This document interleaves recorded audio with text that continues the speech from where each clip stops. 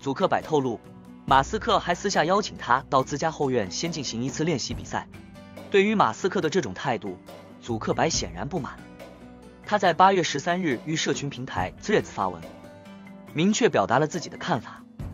他认为马斯克可能根本没打算正式与他对决。有着科技界巨擘之称的 Meta 创办人祖克柏，与全球首富 Tesla 与 SpaceX 的长发马斯克。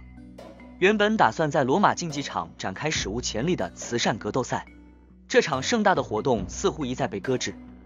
今年六月三十日，这两位企业家决定要有一场格斗对决。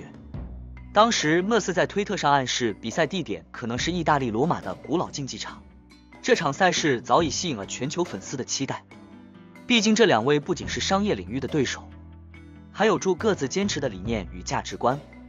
但不久后，马斯克突然宣布，已取得意大利总理和文化部长的同意，将在古罗马风格的史诗级地点进行这场古早风格的比赛，更强调比赛中将完全不采用现代元素，意味着这确实会是一场古早味十足的对决。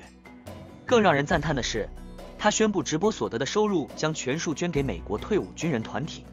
然而，虽然大家都非常期待这场比赛，马斯克的确定日期似乎遥遥无期。他曾表示最快愿意在十四日就进行格斗，却从未对祖克柏提议的八月二十六日给予确认回应。更令人意外的是，祖克柏透露，马斯克还私下邀请他到自家后院先进行一次练习比赛。对于马斯克的这种态度，祖克柏显然不满。他在八月十三日于社群平台 Threads 发文，明确表达了自己的看法。他认为马斯克可能根本没打算正式与他对决。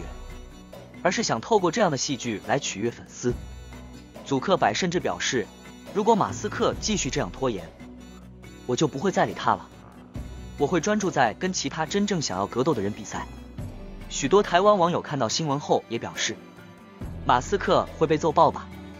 祖克柏有在练的美，我猜马斯克会被打爆。祖克柏很猛哎，确定吗？马斯克是不是不敢打？从祖克柏的练习影片里看得出来，马斯克胜算不大。好想赶快看到他们互打。大家对于这件事有什么看法？欢迎留言讨论哟。感谢收看 Li News，每天给你最新最好料新闻报道。欢迎订阅我们的频道，按赞分享，开启小铃铛。